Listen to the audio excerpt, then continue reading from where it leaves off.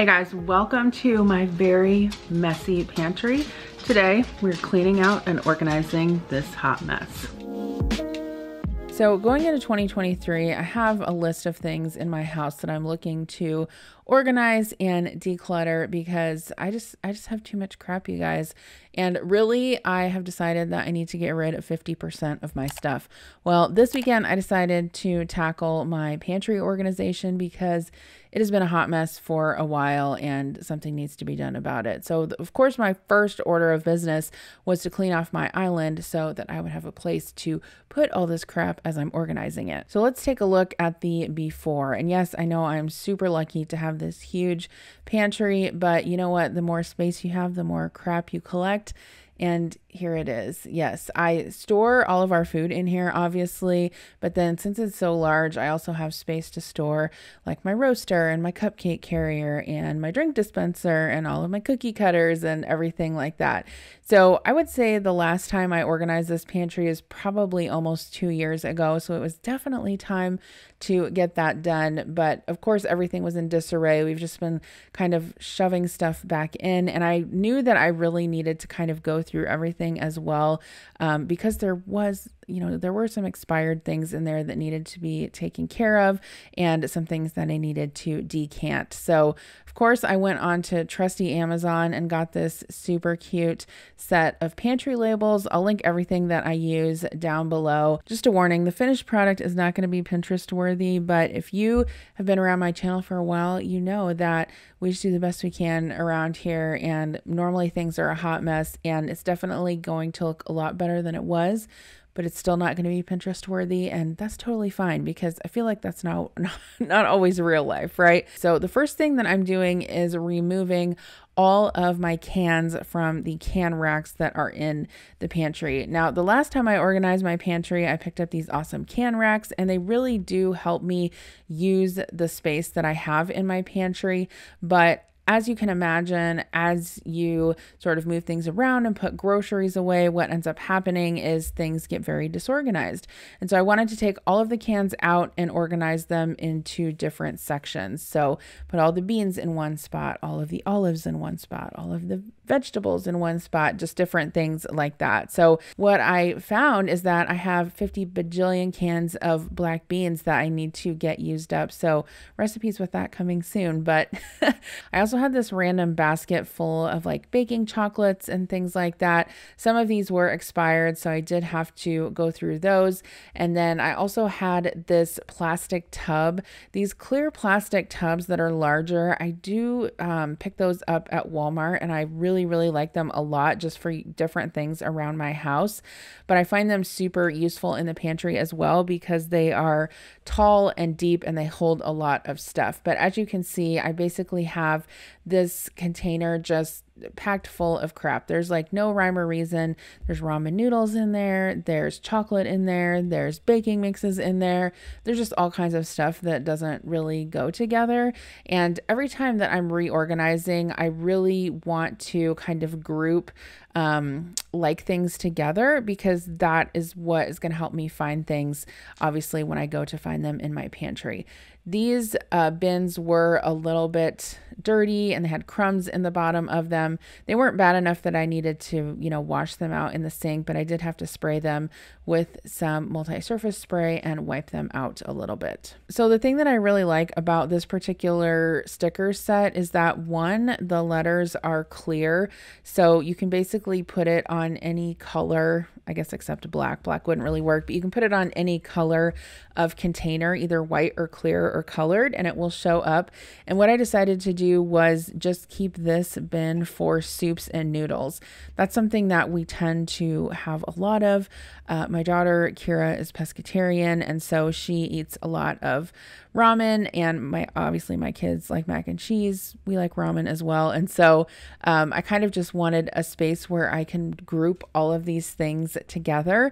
And I also wanted to put it in a space in the pantry that was easy for um, the kids to access. And that's something that I'm always thinking about too when I'm reorganizing things or spaces in my house is especially the items that I use most frequently.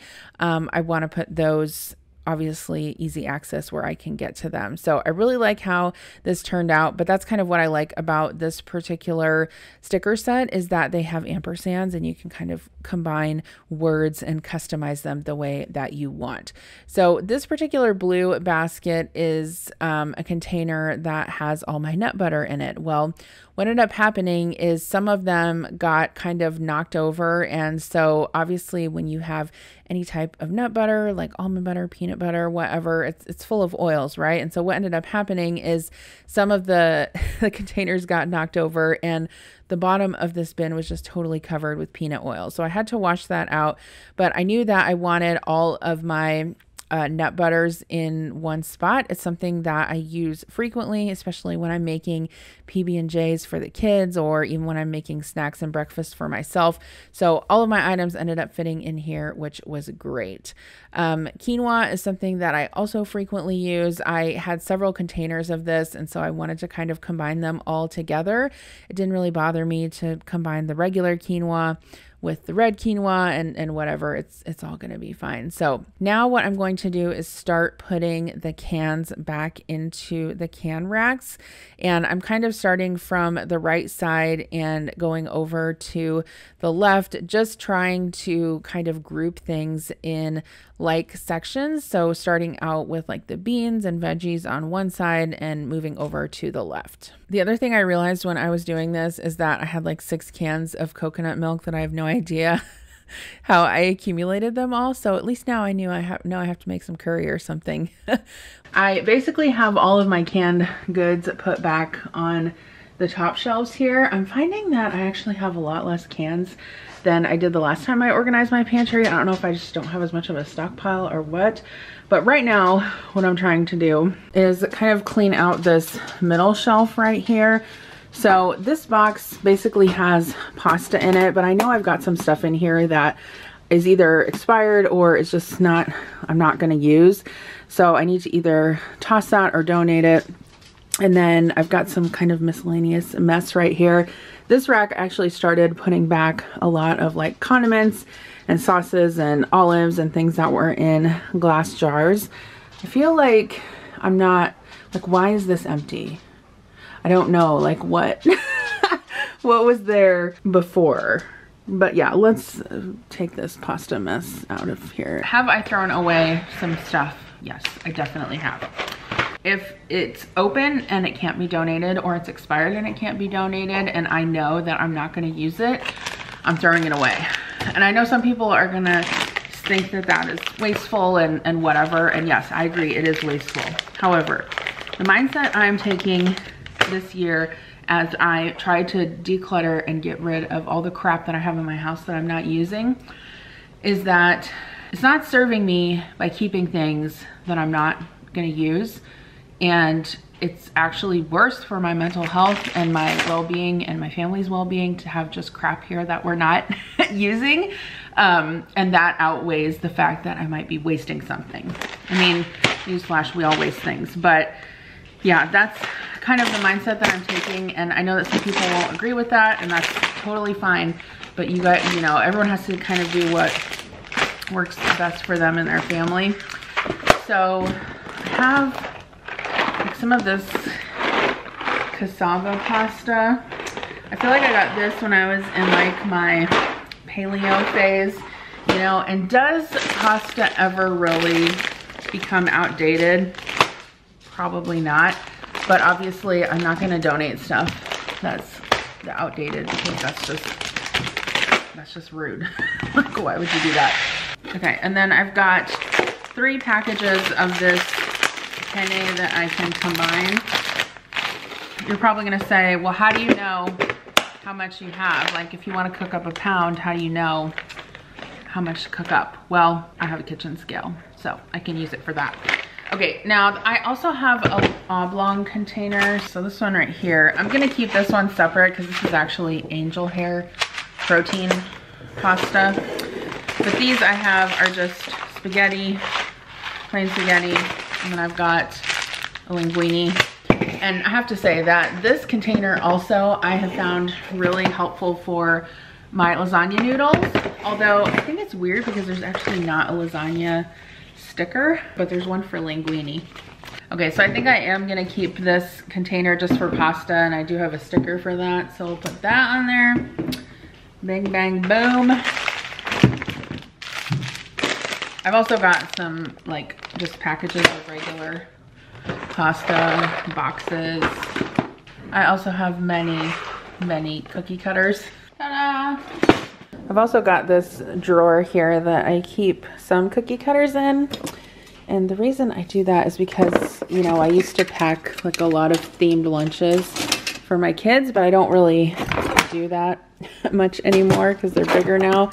So I think I'm just gonna move these to this bin. This uh, bread machine, actually Adam got it for me.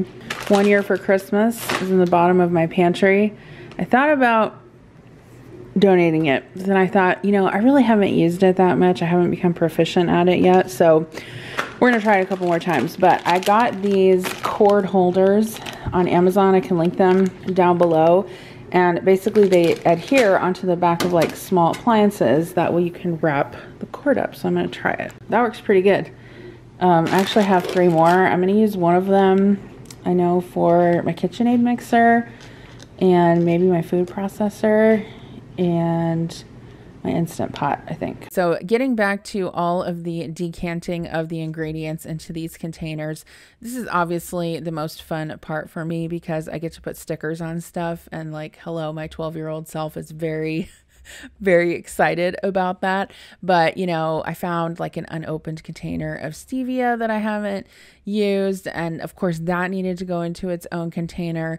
I also found that I had a sticker for pancake mix. And so, of course, I had to put my pancake mix sticker on a container and just put my pancake mix in there.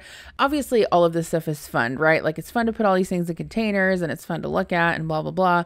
But really, I do think that it saves a lot of space in the pantry. And the reason for that is that all of these containers, especially um, the BHG ones that I get from Walmart, they all stack together. And so it really is good use of the space. And you'll see that at the end. It's a lot more efficient use of space than just like putting a bunch of bags and boxes and things like that in there.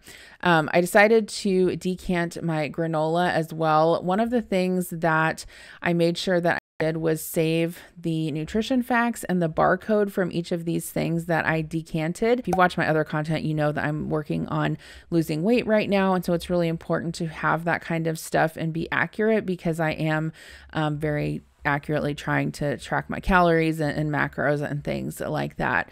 Now, obviously, here too, I also had a sticker for uh, mashed potatoes, and I always keep potato buds in my pantry. Number one, I keep them to thicken potato soup, which is a really good use for them, but then I also keep them uh, just so I can have emergency mashed potatoes if I need them during the week. So, of course, I was super excited to uh, use that sticker. Sometimes I feel like what I show in my kitchen may not always be super realistic to what yours looks like, also because I do.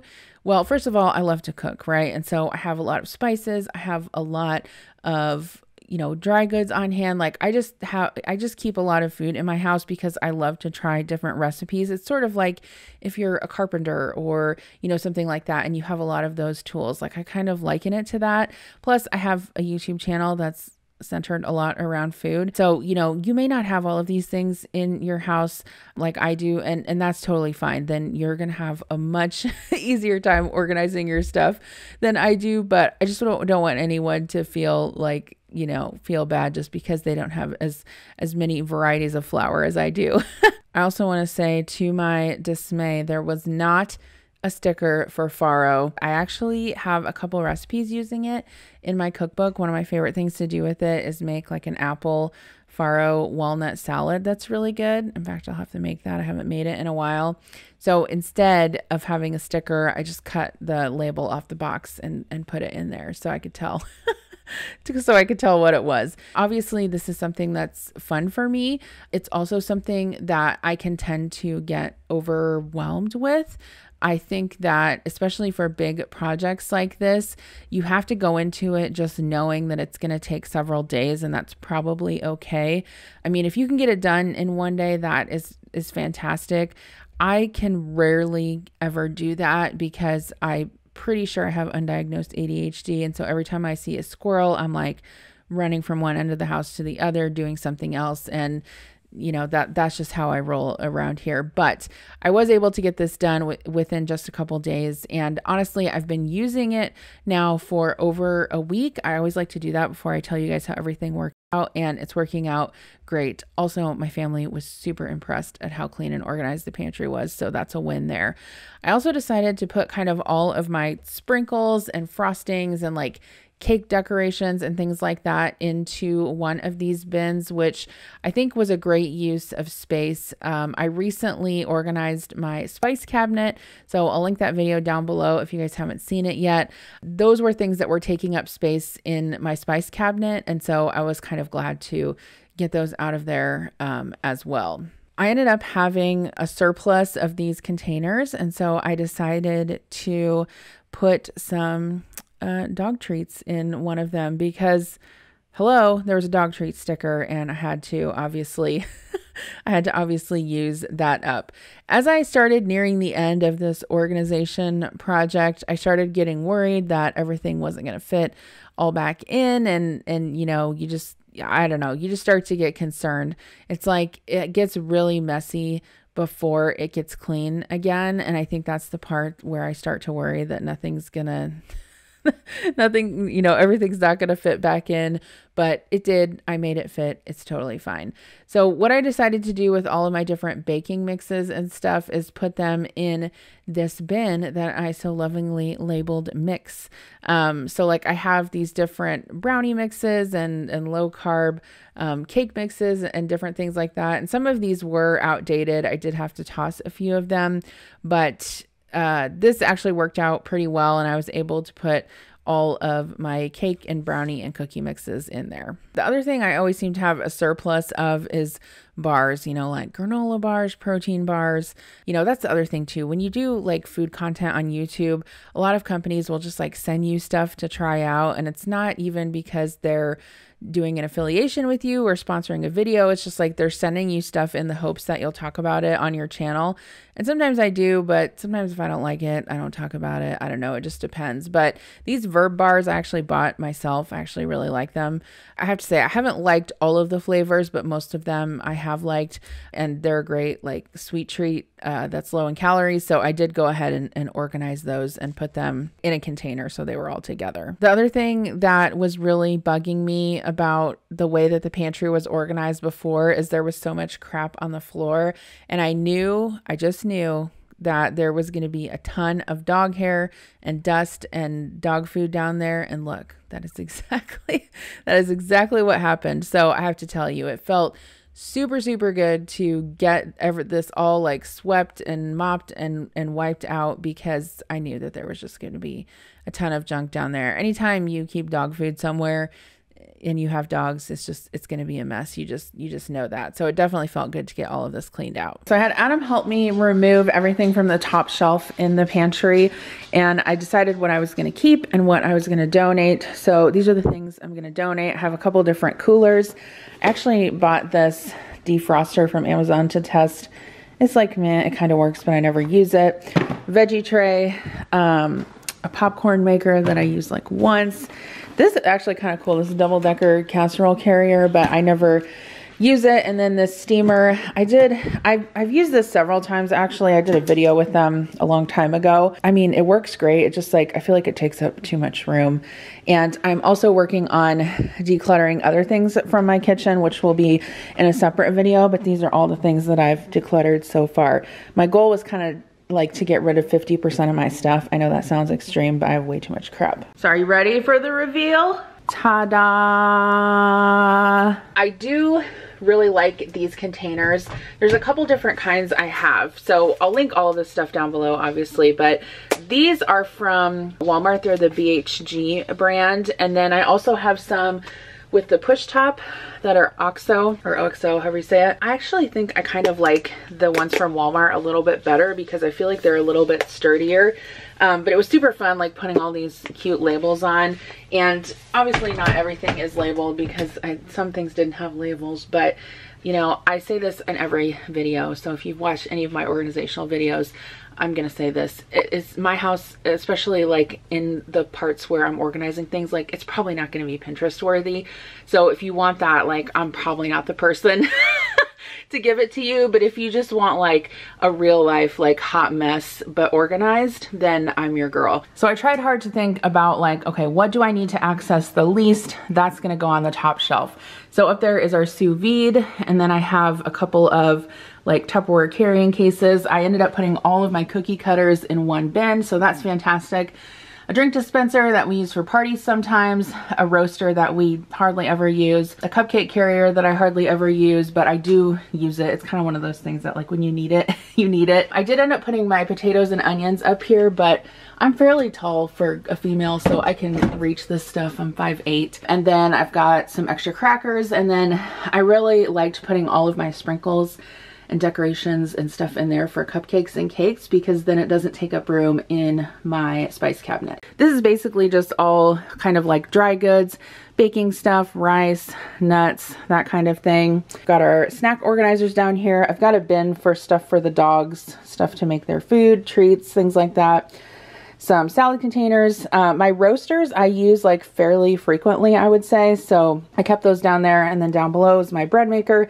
And then this is a picnic basket that my grandma passed down to me, so I'll never get rid of that. Up here, this is more like chocolate chips and chocolate and different baking uh, things. And then back here, this is just kind of a miscellaneous bin full of stuff that I'm not going to need to access that frequently. I've got some Quest chips here. Um, this is just kind of miscellaneous like sauces and different things like that. But you can see how these racks kind of allow you to use this space um, without having, you know, obviously these are all jars. Like you couldn't stack them on top of one of the other. So it helps you um, use up the space, especially if you have taller shelves in your pantry. And then all of this is like baking extracts, jello, that kind of stuff. Um, I also put that here because I didn't want it to take up room in my spice cabinet. Cereal, soups, and noodles. I've got some different types of protein bars here. Crackers, so I've got Ritz crackers, saltine crackers, Triscuits, Wasa, some tortilla uh, chips. This is kind of just miscellaneous seasonings and um, I put all of my nut butters in this basket. And then my Instant Pots, we've got dog food, Milo's dog food, Murphy's dog food. Um, on the bottom, I moved one of my can racks down here, and that's what I've been putting my canned dog food on, so that's been working well. We've got um, lunch boxes down here to store those. I've got my mops in here. Um, all of these, um, like, I, I, think I got these at Walmart, but they're super handy for hanging your brooms and Swiffer and, and things like that. They're just command hooks. I've got all of my pasta right here. This is just kind of like miscellaneous sauces, rice, dressings, things like that.